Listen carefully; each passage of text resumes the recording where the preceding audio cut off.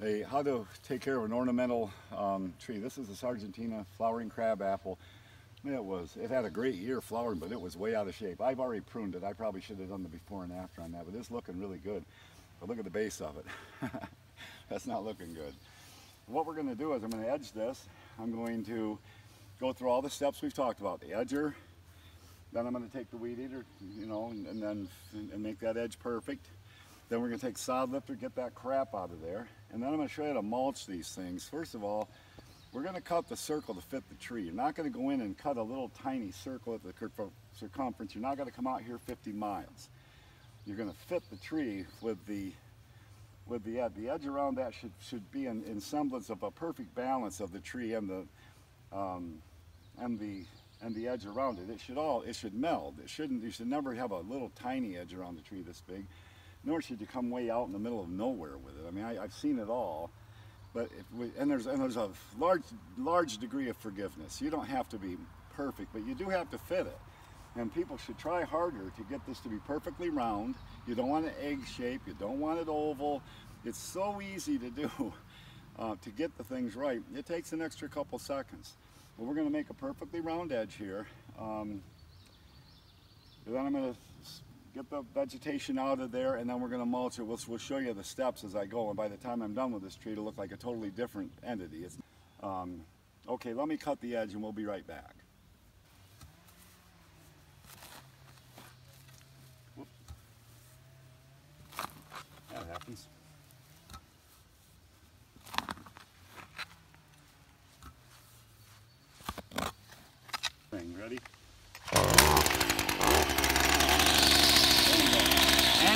Angle. That it doesn't grab the grass.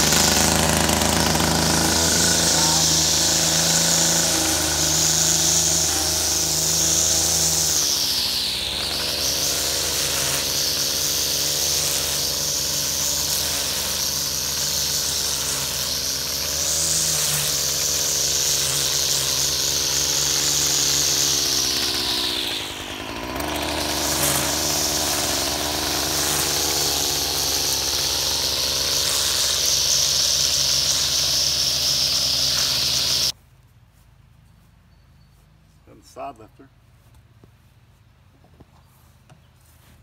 Bucket. Knee pads.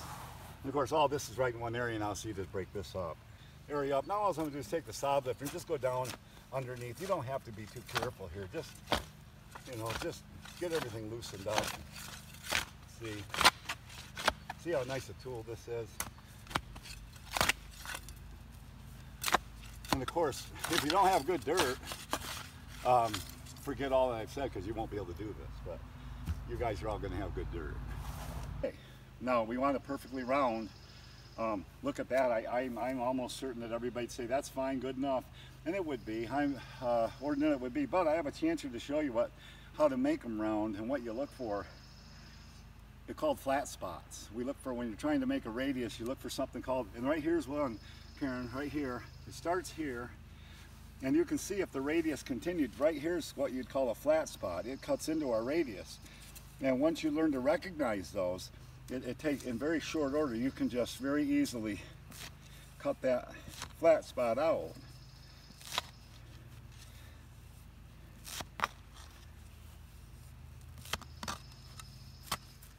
Over into here, and I'll bet you that's going to look rounder now.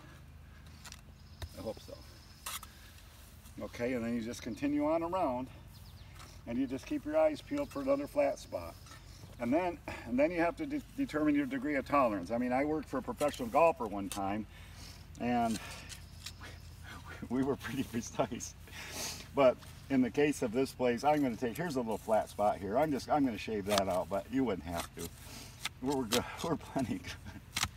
But yeah, I, I, I worked for some interesting people. And one was a pro, pro golfer. And he he wanted radiuses, so we gave them to him. It takes a little extra time, but there, a couple little tweaks is all I did there to make things look a little bit better.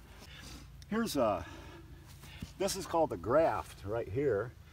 This uh, way, you find them in all nursery stock. Uh, every tree's grafted, and as long as you keep that above above the ground, excuse me. And if you if you're mulching and you go no higher than that, you'll probably be okay. I'm not gonna even come close to that. My mulch will end up about here. And it'll be a nice soft mound. It should never cry, look at me, look at my hill, look at my mound, look at my anything. It should always be understated, especially around, you only have a small area here. You screw up a small area and it stands out like a sore thumb. There's no forgiveness in the smaller areas. You get away with murder out there in the big spots, but here we're gonna have to be real precise how we do this. It's no big deal, but when I'm done with this tomorrow, you're gonna see from what it looked like, what, seven, eight minutes ago to what it's gonna look like with a little, a little mulch on it. It's not that big a deal, but you got to know how to do it, and you should. You should. It's not hard. So tomorrow we'll mulch it and see how our tree looks. And we're back to this tree. Remember what it looked like when we started. Uh, just going to quickly finish it off now. Explain a few things as I go. You don't want to do this. The first thing you don't want to have is this volcano look. That that goes on more than more than you think, and even even worse than that. That's a mild version of what I call volcanoing around a tree. That there's absolutely not only no need to do it, but you really don't want to do it. You I've seen it so bad with it piled up here with the roots, the tree under the graft actually start coming out into the mulch. But the other thing is, remember we talked about the look at me. You don't ever want to look at my mound, look at my volcano, all that stuff. That's out the out the door. You don't want that. You want the mulch to do its functional role of sort of keeping weeds out and the cosmetics all at once. Right on your hands and knees, crawling around. It's okay.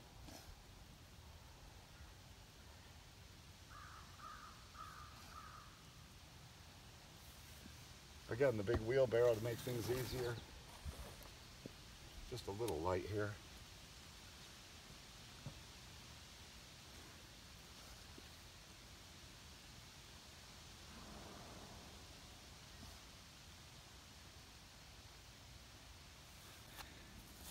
Little little touch-ups. Again we're all going to have our degrees of tolerance. Mine's pretty tight I know that's okay. But if your tree looks like that nothing it's, it's a very nicely landscaped tree. Step back a little from it Karen and get a nice look as part of just the landscape.